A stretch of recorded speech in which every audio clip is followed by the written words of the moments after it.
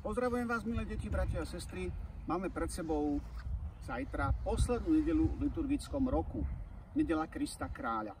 Pre nás je ten pojem kráľ taký málo zaujímavý, pretože nežijeme v žiadnej monarchii alebo v kráľovstve.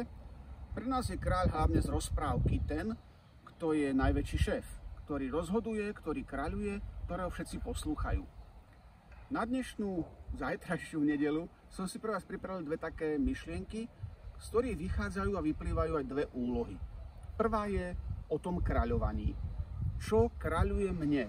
Je to môj mobil, telka, je to moja lenivosť, ktorá mnou hýbe, ktorá ma ovláda? Druhá myšlienka sa týka Evanília, ktoré nám táto nedela prináša.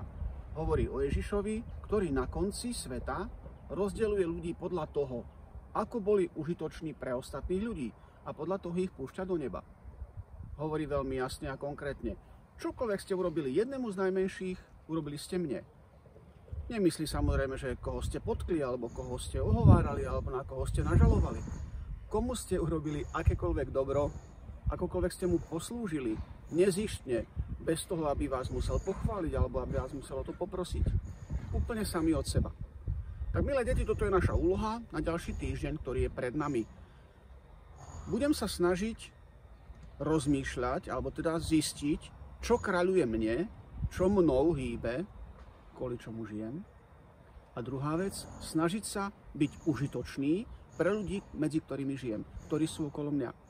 Moji súrodenci, moji rodičia, starí rodičia, kamaráti, s ktorými sa občas teraz v tejto dobe stretnem. Tak prajem vám veľa úspechov aj v tejto jesennej dobe. Slnečko nám ešte krásne svieti, ale už také zubaté, takže dávajme si pozor, aby sme neprechladli a prajem vám všetko najlepšie.